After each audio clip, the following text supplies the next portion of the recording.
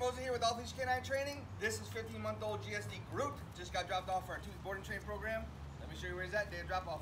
Groot, come here, come here. Good. Hey, sit, sit, sit, sit, sit, sit, sit. Down, down. Oh, he knows down. Bruce, place, place, place, place. Mom says he's easily distracted. There's some distractions off in the distance. He's not worried about me. This guy's gonna be a superstar in just 14 days, so stay tuned for his amazing progress. Let's go.